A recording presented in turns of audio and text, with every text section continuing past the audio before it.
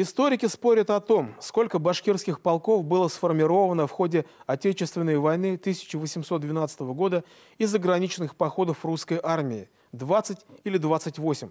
Но сколько бы их ни было, проследить боевой путь каждого из 20 или 28 башкирских полков невозможно. Поэтому ограничимся лишь некоторыми из них.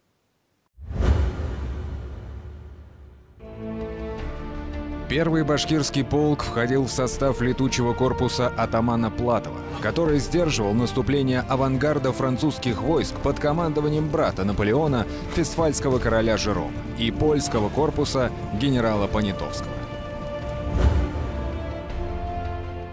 В начале войны речь шла о том, что необходимо было прикрывать отступавшие русские э, армии, которые должны были соединиться э, друг с другом.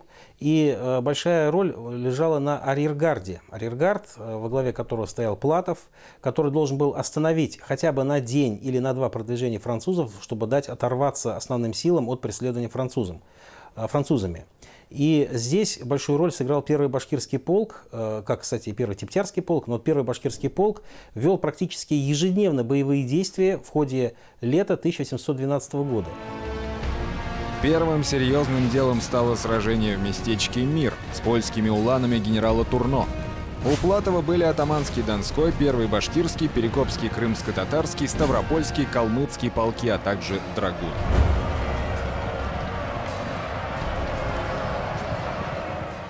Он атаковал в лобовую наступавших польских улан, чего они не ожидали.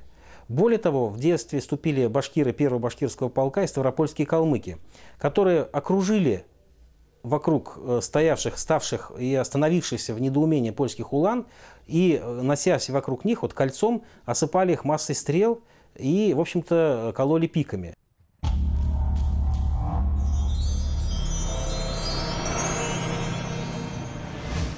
Следуя по дороге на Турце, не видели никого, кроме казаков, башкиров, калмыков, которые обычно двигались галопом, проскальзывая от оврага к оврагу, чтобы стрелять с более близкого расстояния. Я никогда не слышал воя столь ужасного, чем тот, который поднялся в этот момент. Толпы башкиров, калмыков и казаков обошли кругом эти неподвижные эскадроны, отрезая им отход и связывая их узлом. Подготовившись, завывающая ватага устремилась на левый фланг нашей развернутой линии. Охватив этот фланг, она посеяла ужас и смерть в рядах 11 и 2 уланских полков. Едва мы вышли из деревни, как ужасный беспорядок охватил все войска. Эскадроны левого крыла обратились в бегство. Турно – воспоминания польского офицера. Победа была полной. Бригада Турно разбита на голову. Поляки сражались отчаянно. Все пленные, доставшиеся Платову, были переранены. Сражение под миром стало первой победой русского оружия в войне 1812 года. Она развеяла миф о непобедимости наполеоновских войн и воодушевила всех на новые подвиги.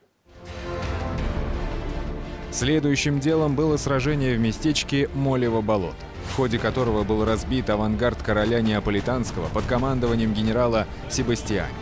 Помимо донских казаков, из-за регулярной кавалерии в бою участвовал Симферопольский крымско-татарский полк, а также отборный отряд башкир, состоявший из 200 человек под командованием поручика Жилина. Башкиры успешно атаковали французских конных егерей с 7-й бригадой Дейзера –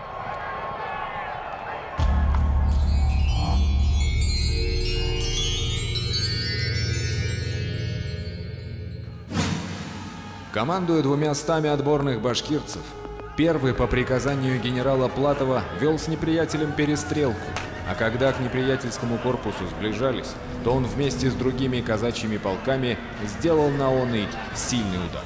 Из наградного листа поручика Жилина.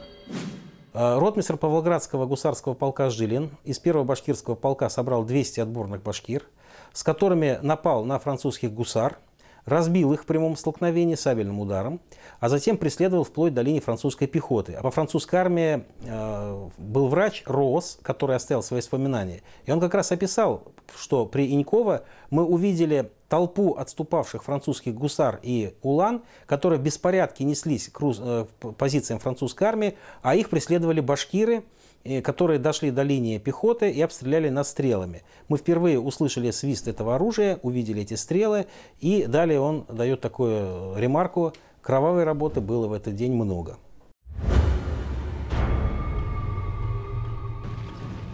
Обсервационная армия генерала Тормасова стояла южнее Западной армии.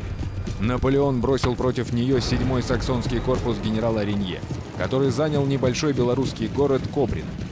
27 июля к нему подошли русские войска и завязался бой. Противник закрепился на окраинах гор. Тормасов в донесении царю писал «Приказал я графу Ламберту атаковать неприятеля казачьими полками Власов, Евпаторийским, Татарским и Вторым Башкирским и стараться выманить его из сей позиции где он находился под прикрытием пушечных выстрелов в открытом поле.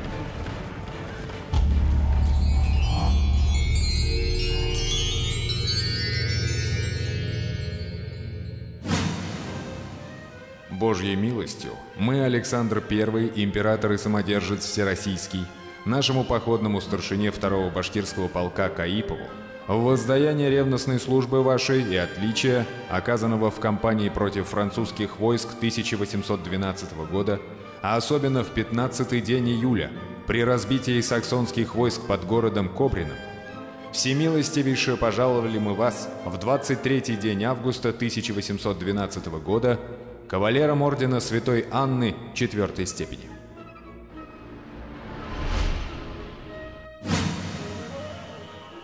Поручик Аюб Каипов был башкиром Яик-Суби Мингской волости. Проживал в ауле Старосипяшево, современного Альшеевского района республики. После войны был произведен в потомственные дворяне.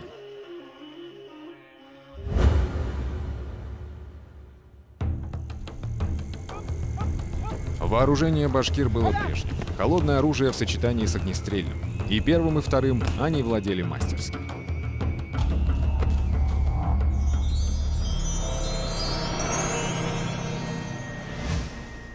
Они все вообще искусно ездят верхом, большие мастера управлять пикой, стрелять из ружей, особенно из луков. Последнее искусство доведено у башкирцев до такой степени совершенства, что многие из них каждый раз безошибочно попадают стрелой в самые малые предметы, например, в воробья, находящегося от них шагов в ста и далее. Размахнин. Сведения о башкирцах, 1832 год. Главной принадлежности вооруженного башкирца составляет ружье, пика или копье, сабля, лук и колчан со стрелами. Надобно заметить, что башкирцы весьма склонны к воинским упражнениям. Все они вообще весьма искусно ездят верхом. Мастерски владеют пикой и метко стреляют из ружей и луков. Последним действуют с такой силой, что пущенная стрела на недальнем расстоянии, как, например, в сажениях 15, пронзает насквозь не только человека, но и лошадь. Черемшанский. Описание Оренбургской губернии, 1859 год.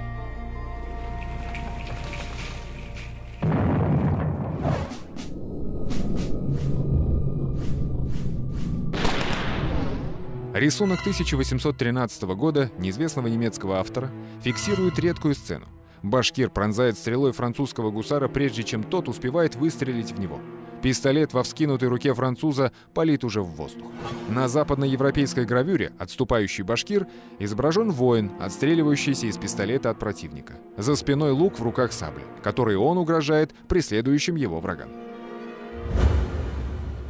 Первый башкирский полк участвовал еще в нескольких арьергардных сражениях, пока не наступил День Бородина.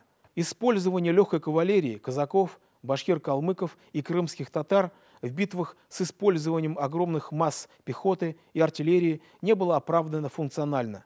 Поэтому в Бородинском сражении все они выполняли вспомогательную роль.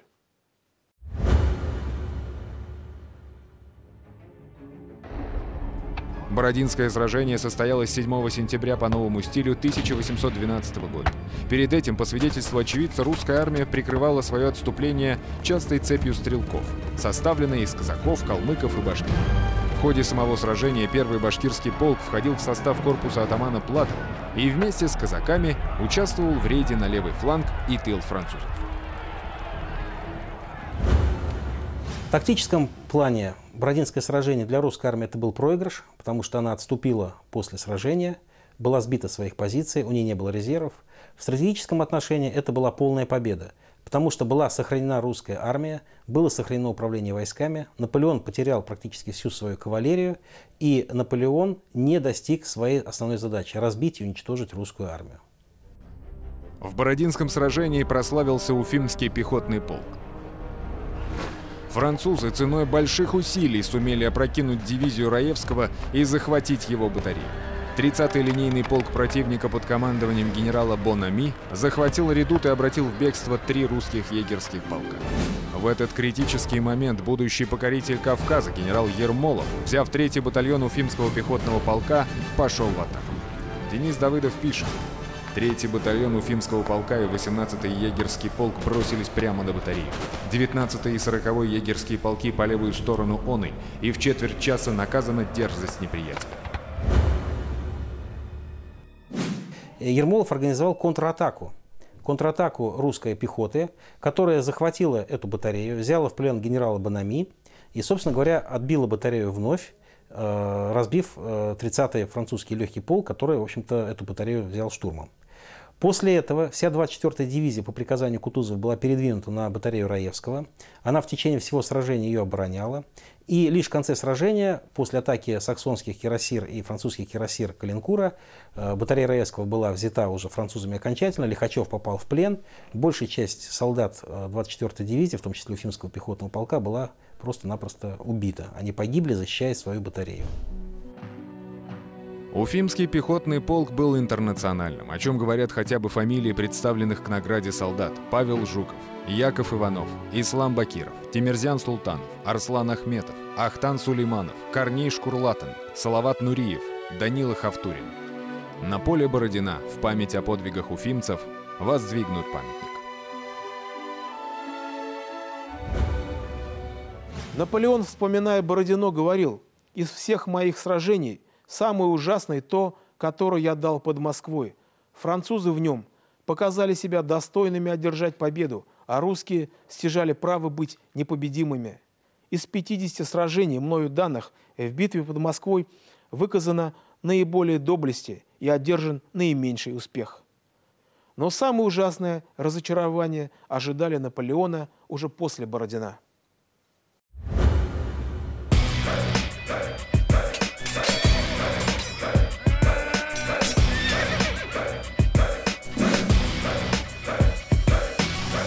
Заволокло Москву реку душным угаром. Древняя столица, спаленная пожаром. Французу дерзкому без боя отдана. Армия русская копит силы у Тарутина. Русак не рак, задом ходить не умеет. Морально разлагается враг, день ото дня слабеет. Со стен Кремля мрачно маячит знакомый обрис. А казаков и башкир в бой ведет Давыдов Денис. Идут они за шумными французскими полками И ловит их, как рыб без невода, руками